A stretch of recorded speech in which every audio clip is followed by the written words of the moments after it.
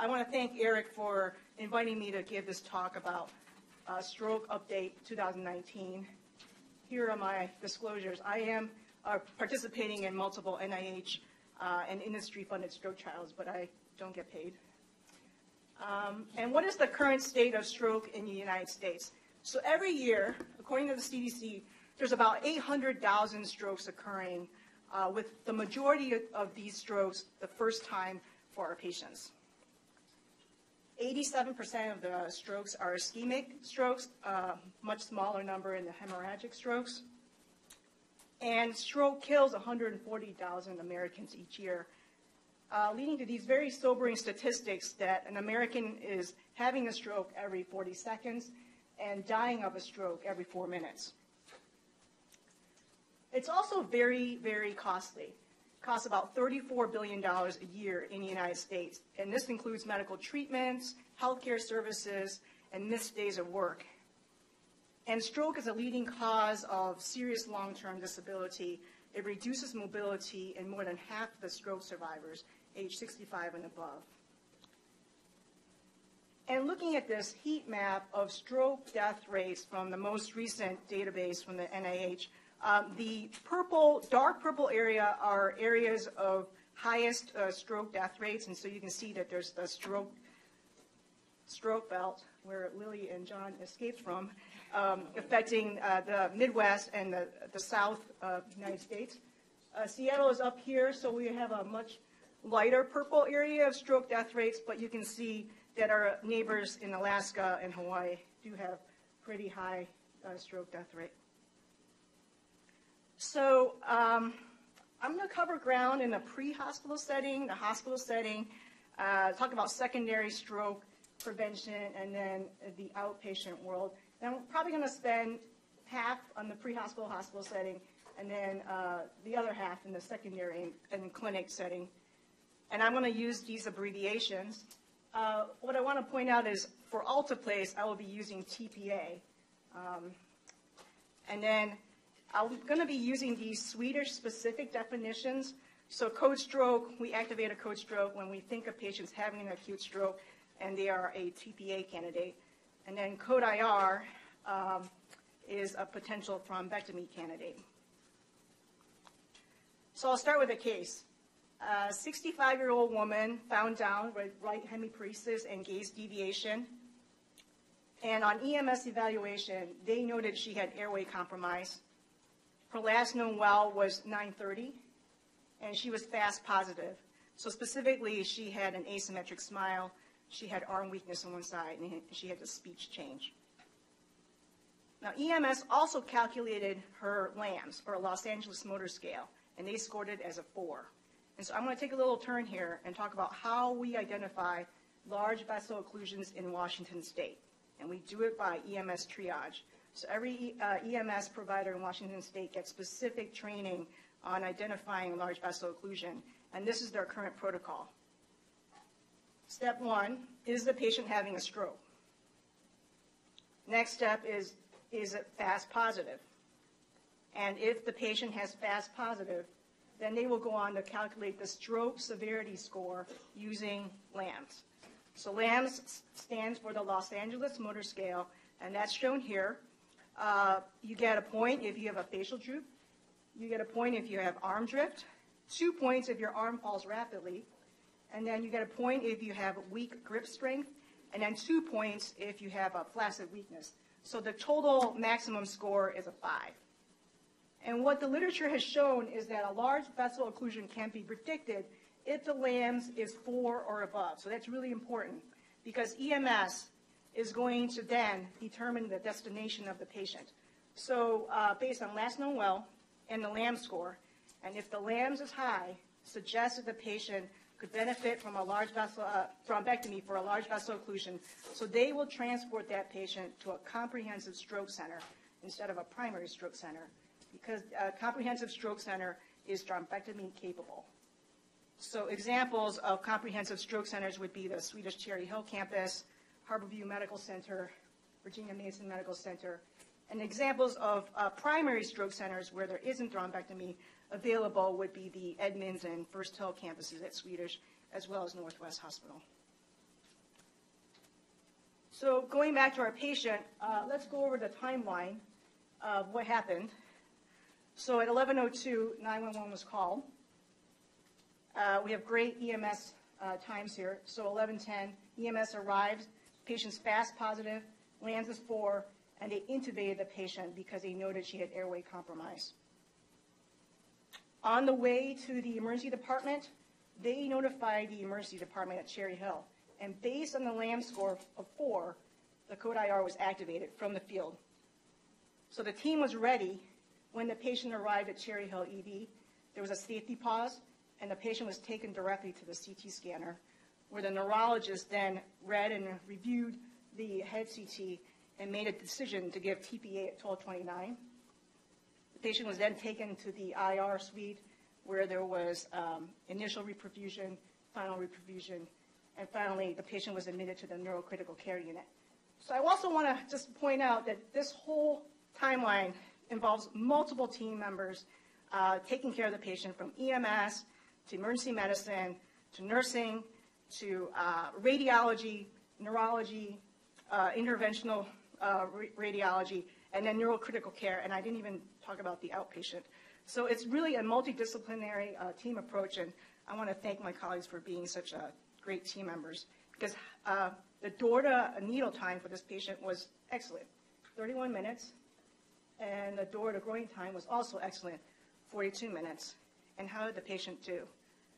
So here is the um, initial angiogram, which showed a complete occlusion of the left internal carotid artery and middle cerebral artery. And uh, the final uh, IR sh- uh, shot shows complete recanalization of the ICA and MCA with a perfect score of reperfusion, TICI 3. More importantly, clinically, uh, two months after her stroke, the patient was actually living independently. She had some slight disability with speech and motor apraxia, but she's actually doing very well.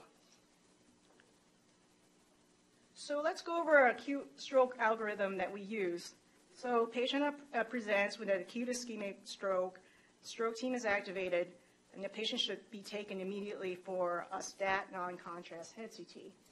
Importantly, if there isn't a hemorrhage and the patient's uh, symptoms are stable, very mild, non-disabling, they may not get TPA, but they should be admitted for a stroke workup.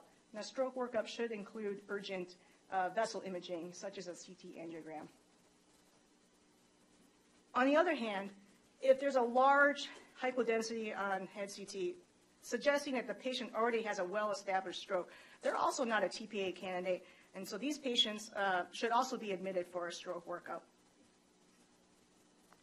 And then for like our patient, uh, she presented within the uh, four and a half uh, hour time window, so she's a TPA candidate.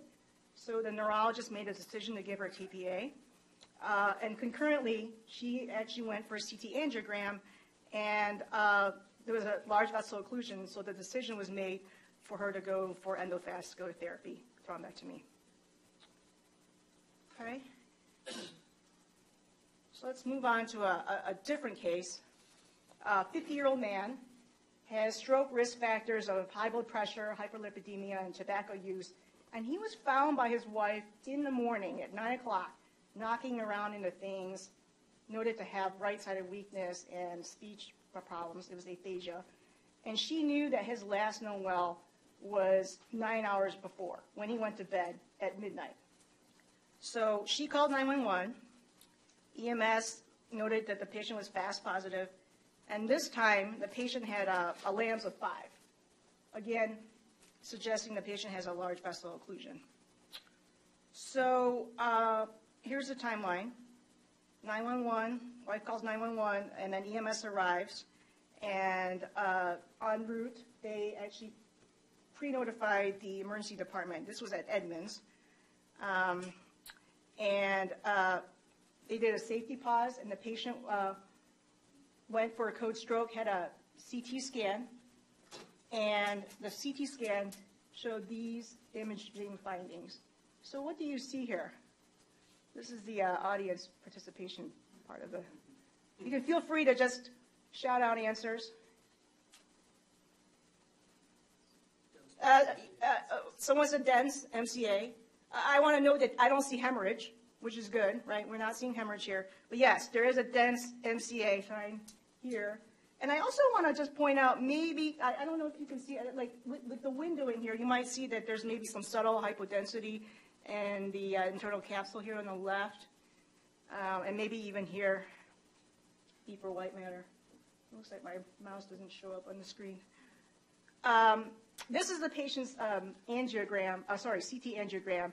What you can see is that there's a very quick um, stoppage of uh, contrast in the internal capsule. So it just doesn't flow.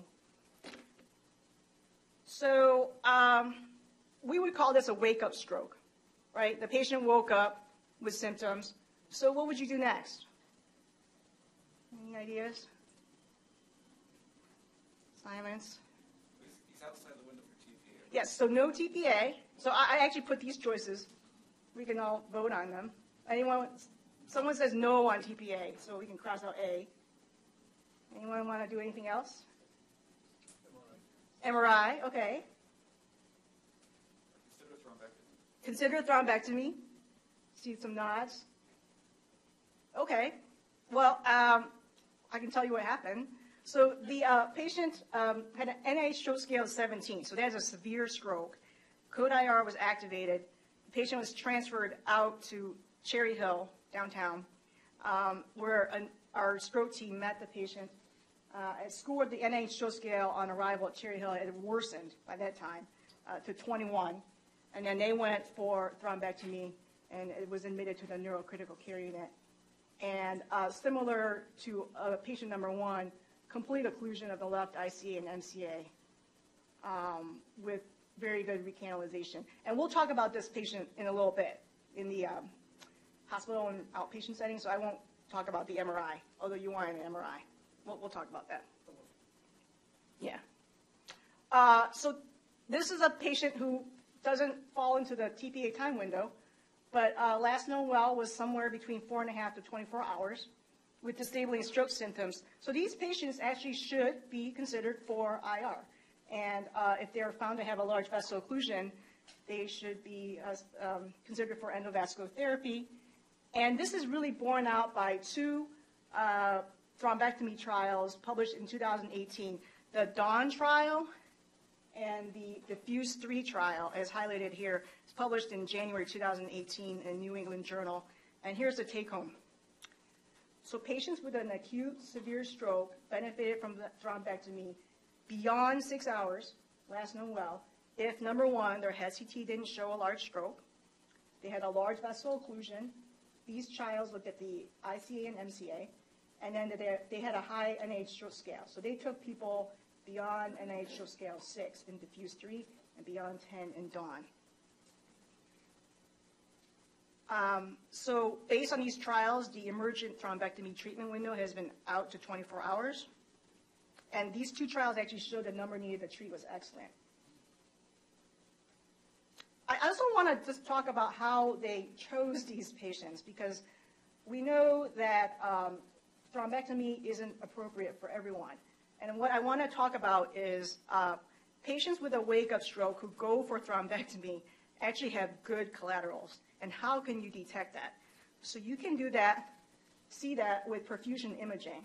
So um, I'll, I'll explain. This is someone's perfusion imaging. So this is a 59-year-old man. He had a wake-up stroke. He presented 13 hours after last known well. His NIH stroke scale was high. It was 23. And this is his CT perfusion imaging. And so the left-hand side, I call it the purple side, um, shows the ischemic core. So this is the area of stroke that's already happened. It's irreversibly damaged.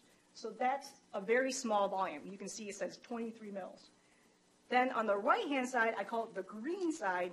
The green side is the perfusion deficit or perfusion lesion. And so this is the area where the blood flow is delayed and it potentially could be reversed if there's thrombect- uh, if you do a thrombectomy. So really, a, a patient who would benefit thrombectomy would have a small purple. So the stroke is it's established is very small, um, and then there's a large area that could stroke out if you if you don't do anything. So that's the green part, and you can actually measure that with a mismatch of green to purple, And the, for this patient, the mismatch ratio was 5.6. So I want to contrast that to a patient that we actually considered thrombectomy on, but we didn't take to thrombectomy because this patient uh, had a much higher purple side. You can see that the, the mils here are 118 mils, and the ratio between green and purple isn't that great. So here are some numbers to think about. You're thinking about thrombectomy. Um, we've kind of had this programmed into our brain now or onto our iPhone. Uh, the ischemic core, the purple side should be small, less than 70 mils. The lesion on the green side should be big, and then the mismatch ratio should be greater than 1.8.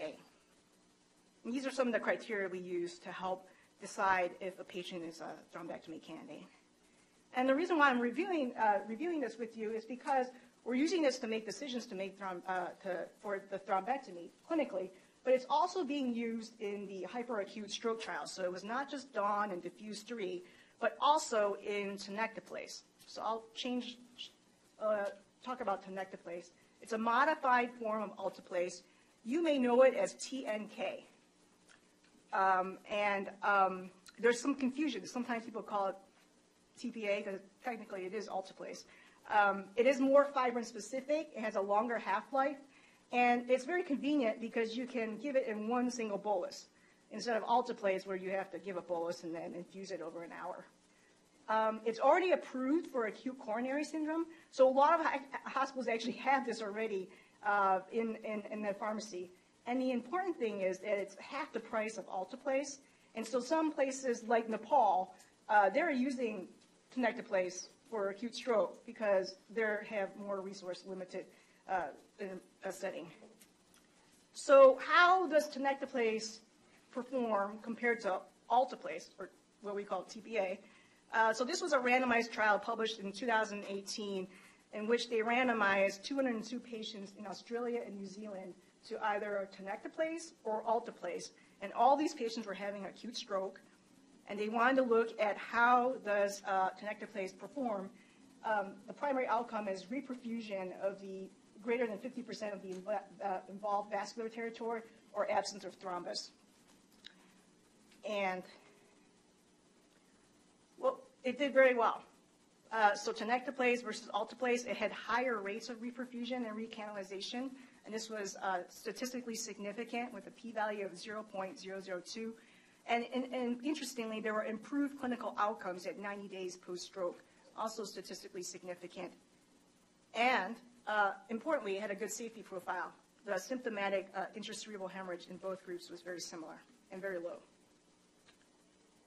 So I want to draw your attention to an ongoing trial called the Timeless trial, uh, looking at tenecteplase in the extended uh, time window. They're randomizing patients to tenecteplase versus a placebo, and then they're choosing patients based on perfusion uh, whether uh, these will be randomized uh, in the time window. So sort of like similar to a thrombectomy trial. Um, and these patients will have an ICA or MCA vessel occlusion, and then we'll look at patient function at 90 days post-stroke. So more on that later. Um, Any questions? I'm going to move into the outpatient world now, a little bit. Sorry, hospital world. Do they pull it out, or what do they do? Yeah, um, so I've sat in on some of these, there, there's like a, a stent, and then these are much safer now, and then there's a retrieval with aspiration.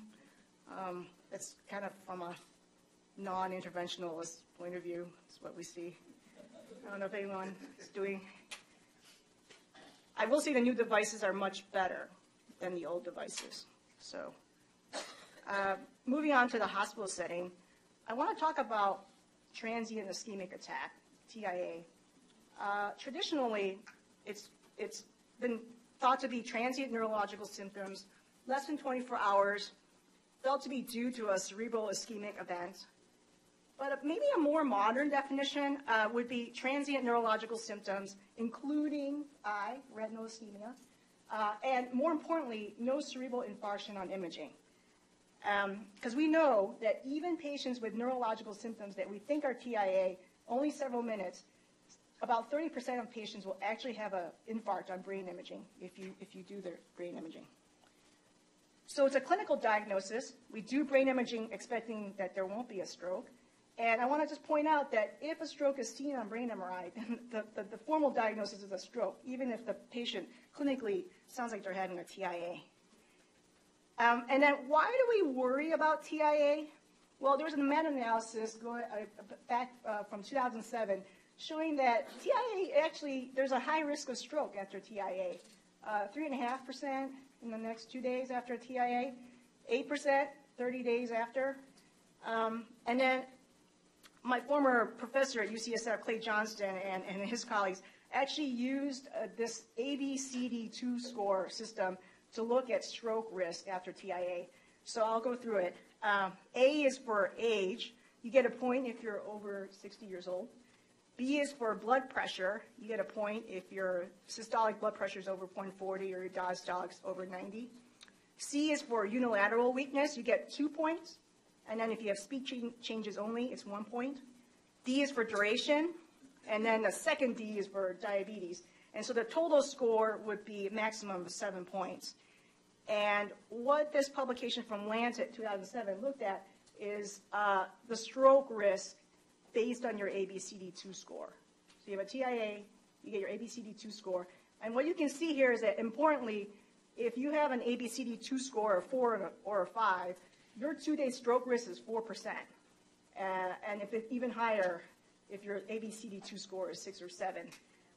So this actually led to a change in management of TIA patients.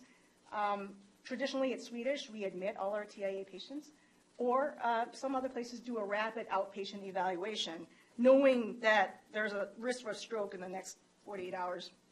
And um, when we, when we uh, look at, when we admit our TIA patients, this is the test that we do. We do vessel imaging, brain MRI, make sure they don't have a stroke, lipid profile, transthoracic echocardiogram. They also have cardiac monitoring while they're on the, the nursing floor. Uh, they get repeat uh, neurological exams, make sure that they're not worsening.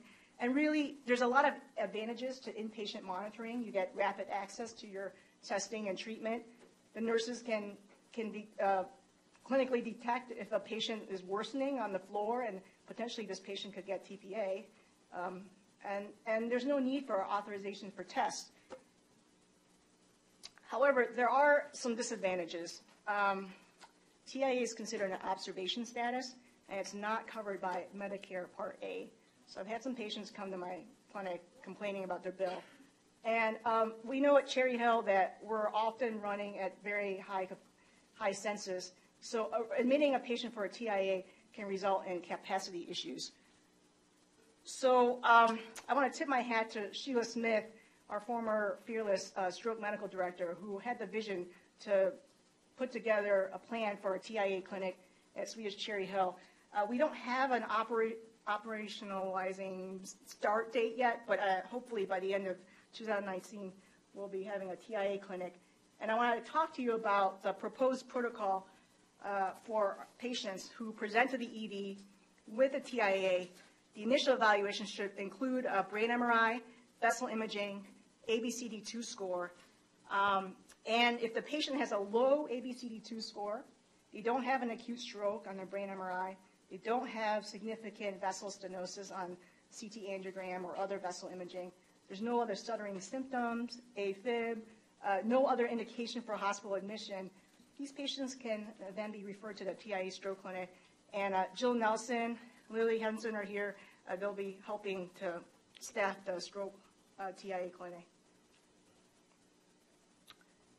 So moving on to secondary stroke prevention, uh, really this is key to, to preventing strokes uh, from a risk factor perspective. These are the major risk factors that I, we discussed as a team in the neurohospice team, and then again reiterated in the stroke clinic. Um, blood pressure, diabetes, smoking, dyslipidemia, physical uh, inactivity. Um, AFib uh, is another important stroke um, uh, risk factor, and carotid artery stenosis. Um, I want to draw your attention to the 2017 guidelines from the American College of Cardiology and AHA, which did note that an elevated blood pressure is systolic greater than 120 over 80 so um, uh, it- the the guidelines are much more stringent now with respect to hypertension. There are many non-pharmacologic interventions that we discuss with our patients, such as losing weight, DASH diet, reducing sodium, increasing physical activity, and uh, limiting alcohol intake. And one uh, other thing to, to talk about is that hypercholesterol itself is not a strong risk factor, but we do treat patients with HMG-CoA reductase inhibitors, uh, uh, aka the statins, because they do d- decrease the risk of strokes. And I will say, uh, I have a lot of patients in the Pacific Northwest who read a lot of stuff online, and they they're not enthused about starting statins. So I kind of have this talk about how statins have these other um, helpful um, roles in plaque stabilization, reducing inflammation, uh, slowing carotid arterial disease progression, improving endothelial function, uh, and reducing uh, embolic stroke. And we kind of talk about how statins can help um, in different ways, not just cholesterol. And we do know that lipid lowering by other means, such as fibrates, resins, and diets, they actually don't have a significant impact on stroke incidence. Um, and now I'll move to the clinic side, and I'll, I'll go back to patient number two. As, as you will remember, he's the wake-up stroke, 50 years old. Uh, these are his stroke risk, risk factors. He had a complete occlusion of the left ICA and MCA, um, and, and John wanted a brain MRI. So here, here is his brain MRI.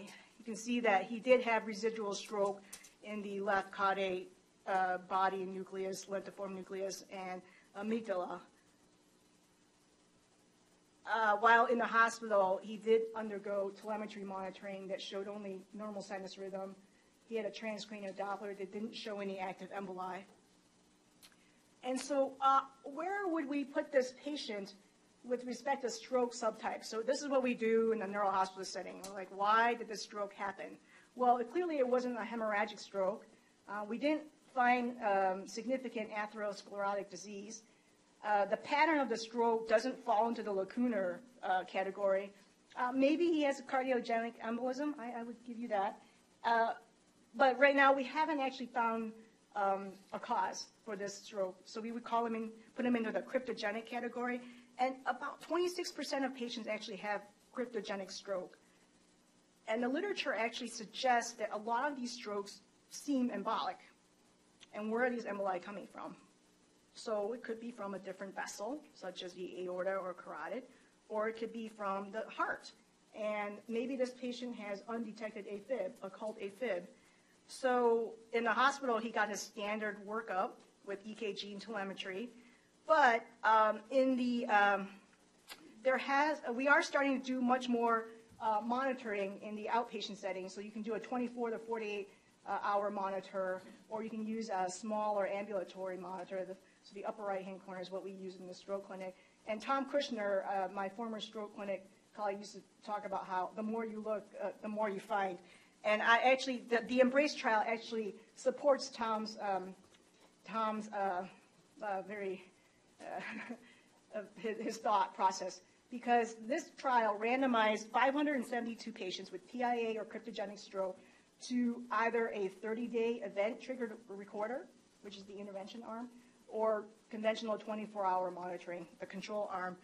And uh, AFib was detected much more, uh, much more in the intervention arm. So 30 days of event monitoring, 16% of patients had AFib versus 3% in the control arm. So the number needed to screen was eight. However, I think that's not just the whole story because uh, the Crystal AF trial um, showed uh, randomized people to uh, a, either a insertable cardiac monitoring versus conventional follow-up, and then they followed these patients out in time. So that's shown here. So the red line is the cardiac monitor, the insertable cardiac monitor patients, compared to the control arm where you just had conventional follow-up. And at 12 months, you can see that, yes, you just saw AFib much more, uh, much more in the uh, cardiac monitor arm in the red line compared to the blue line. But if you draw a line all the way across at the end of 12 months, uh, only maybe 10 to 20% of patients actually had AFib found. And this suggests that maybe subclinical AFib is not explaining most of the cryptogenic strokes that we're seeing. So uh, we've come up with a new term, um, ESUS. You'll, you might hear these, this term being used. It's embolic stroke of unclear source. These patients don't have a lacunar stroke. They don't have large uh, vessel stenosis. There's no other cardiac source of embolism found. Can't find AFib. No other specific cause of stroke. So these are what we call ESUS patients. And what should we do with these patients? So you might be asking yourself, well, should we just anticoagulate these patients? It looks like an embolic stroke. It's coming from somewhere. Um, but I want to just point your attention that there's been two randomized double-blind controlled trials, Navigate ESUS and Respect ESUS, and both trials did not show um, that anticoagulating these patients were superior to aspirin alone. Uh, Navigate ESUS was stopped in 2017 due to futility, and then the Respect ESUS trials we've been waiting for got published in May 2019, and the dabigatran, the anticoagulant being used, was not superior to aspirin in preventing recurrent stroke. So um, there's now a hypothesis that atrial cardiopathy may be the cause of embolism in the absence of arrhythmia, and um, there are some markers of atrial cardiopathy uh, that you can see on EKG or, or an elevated proBNP, um, and some findings on echocardiogram. And so there's an ongoing uh, Arcadia trial that's randomizing patients who have atrial cardiopathy to either apixaban versus aspirin. So back to patient number two, he did have a transthoracic echocardiogram that showed normal EF and normal valves, but he had a positive bubble study. Um, and he did undergo outpatient cardiac monitoring for 14 days, did, didn't show any AFib. Um, based on the positive bubble study, he went back to cardiology and he underwent a TEE where the PFO was uh, quoted as sizable interatrial shunt. Um, lower extremity duplex didn't show um, a DVT. So what, what about this PFO? So this is something else that we uh, talk about um, in our stroke patients. So just as a reminder, a PFO is a small connection between the right and left sides of the heart, between the atria. And in young stroke patients, and I, I may be offending some people here, age, age uh, less than 60, um, with a PFO and no other alter, uh, alternate explanation for stroke, uh, this may be a source uh, for paradoxical uh, emboli. And PFOs can be detected by a TEE, TTE, or even a transcranial Doppler. And there's been a lot of uh, controversy about closing PFOs because there were a lot of negative trials published in the 2012-2013 era that didn't show a benefit to closing PFO. But more recently, there's been other uh, trials that show a benefit to uh, PFO closure. And um, part of this was just who was being sent for PFO closure. So I want to draw your attention to this great editorial by Allan Ropper, who's, who's just a great um, clinician, who pointed out in this editorial in the New England Journal the tipping point for patent foramen ovale closure. He notes that the rates of stroke in the new trials of PFO closure were really, really low. So the procedure itself is, is, is not a high-risk procedure. And he also talks about that there are some features on the PFO that you can see on TEE that would be considered high-risk features. So this would be bubbles seen at rest, as well as uh, the atrial septal aneurysm flopping around more than 10 millimeters. And so I want to thank Tom for um, pointing this out, this article to me. So um, we also use the risk of paradoxical embolism or ROPE score to help identify patients who may benefit from PFO closure. And that's shown here. Uh, does the patient have other stroke risk factors? Really, um, they don't have any other stroke risk factors. It gives you a high ROPE score. Um, and then your age. If the younger you are, the higher, more points you get. So if we score our patient, he did have some stroke risk factors. He had high blood pressure and smoker. So he got zero points for those. He didn't have diabetes. He didn't have any previous stroke. cortical infarct at one point, and then he's age 50, so he gets two points. So his total rope score is five, suggesting that he has a 34 chance of, uh, that his stroke is due to the PFO. And Sheila did actually send him to uh, see our cardiologist to talk about PFO closure. So how I think about PFO closure is that if you have a young patient with embolic stroke, so ESUS patient, has a PFO and TEE with high-risk features, atrial septal aneurysm that's flopping around, also has a very thorough stroke workup, including a hypercoagulable workup, then it's time to think about PFO closure. So I have several minutes, so I'm going to stop there. Uh, In summary, I talked about stroke in the pre-hospital setting, the benefits of EMS triage. Uh, LAMS of greater, four or greater uh, predicts a large vessel occlusion. Um, In the hospital setting, the thrombectomy window has been extended out to 24 hours. The benefits of perfusion and helping you decide which patients would benefit from thrombectomy. Uh, Tenecteplase is on the horizon. It's being used now. Managing TIA uh, patients. Excited about this TIA clinic. Secondary stroke uh, prevention is shown here. And then um, in the clinic, the benefits of extended cardiac monitoring and when to think about PFO closure. So I will stop there and take your questions. Oh, I do want to thank some people before I do that. I want to thank Sheila and Tom, my stroke clinic colleagues. Uh, I want to welcome our, my new colleagues in the audience, Jill Nelson. Hi, Jill. And Lily Henson, who's back. Uh, my colleagues at the neurohospice team, our excellent stroke clinic team, Jordan, Jeff, uh, Becca, who keep it running like a well-oiled machine. And of course, our stroke team that crunches all the data and makes sure we do good quality work and us certified as a comprehensive stroke center. So, thank you.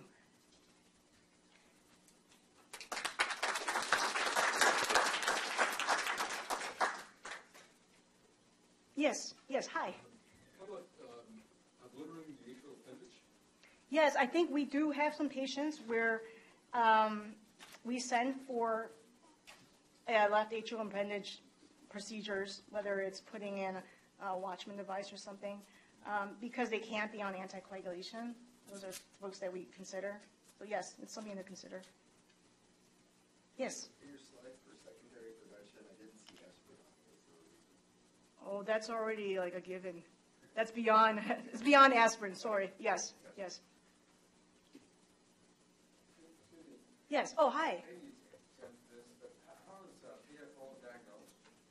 Oh, PFO can be seen on echocardiogram. So if you don't have it, if you suspect it in a young patient, and a TTE, so transthoracic echo is negative, we actually will send these patients for TEE, transesophageal echo, and we also have TCD PFO. So we actually, that's a more sensitive test than uh, the echo. So we have, we have a luxury of testing pr- procedures here. Look for it. Yes? So, uh, on the MRI in that second patient, so we're not doing ratios before we take people to, to? We are, yeah, yeah. But that patient didn't have one. She, uh, the, which patient? The second patient, No, yeah, that one was pre-perfusion because the patient actually came from Edmonds. So it was a young patient. Edmonds doesn't have CT perfusion at the moment. It will be, hopefully by the end of this year. But based on age, and we just went, uh, aspect score. So the old way would just use aspects. So aspects is just head CT imaging, and his aspects was really good, like maybe a nine. but in a patient with a large infarct on MR, you wouldn't, you wouldn't go to, Yeah, and that was our old protocol. We actually used to only use MRI, and it just blew a lot of time windows. So our old protocol was MRI. Hmm. Yeah. I think we had the ICAST trial too at one point, it was an MRI. Yeah. Yes. I, I just want to be real clear on this. As a, as, as a family practice doc, you know, I get nasty grams back from specialists if Oh. my, if my stroke victims are not coagulants. So what I'm hearing is aspirin. The DOACs or, um, uh, uh, warfarin or, or clopidogrel, you know, are not effective for secondary stroke. Yeah, um, I, I did talk about benefits of dual antiplatelet. That was last year's talk. I didn't want to keep repeating myself. Um, but there are benefits. So some people actually would benefit from dual antiplatelets, so aspirin with clopidogrel. So these would be people with lots of intracranial stenosis, or they, they are a high-risk uh, stroke patients, high-risk TIA patient, where we haven't found AFib, then we would do dual antiplatelet, we would consider that. And then, of course, we look really hard to, if we don't find AFib, we look really hard. We want to look for a reason to anticoagulate. Yeah. Question, how long do you leave them on dual platelet? Um, yeah, it's really, uh, uh, it depends. So some, some folks, uh, in China, they talk about ninety days, that's the chance trial. And then the point trial, which was the chance trial in America and, and the Western, uh, world, uh, it, it- they did twenty-one days. So uh, maybe twenty-one days, but not, sorry, ninety days, depending on the reason. But eventually you go on to just one. Yeah, yes, because there's a bleeding risk if it's dual antiplatelet forever, so. Maybe I'll put that back into my talk for next year. Yeah. So how, how much Plavix sensitivity testing are you doing? Oh, uh, you know, here we, we, we test most everybody because there is a, maybe a ten percent genetic, um, genetic, genetic uh, inability to respond to, to clopidogrel. So yes, It's, it's pretty expensive for a lot of Medicare patients, they have to pay for it. Is, is Plavix expensive? It is, yeah, because. Oh, I thought it was ticagrelor. Yeah, it's uh, three hundred bucks a month. I do know we, we, some people are Plavix non-responders, so then we put them on ticagrelor, um, and that's very expensive. It's not covered by a lot of insurance, so it's challenging. Yeah. The Plavix blood test is, how, how do you order that? I mean, Um, Because there's a term for that. Yes, uh, here it's called a Plavix inhibition assay. Got it, got it, okay. Uh, I think there's actually genetic testing maybe at Harborview. I think there's a, is anyone here from Harborview? I feel like there's a genetic test they do send for that. I think that's expensive too. Yeah, 'cause it, it, in all, all the ethics, it's all, it's all a different way to. Yes, yes, yes. If you, if you just uh, search Plavix, Okay, it comes up. okay, great. All right.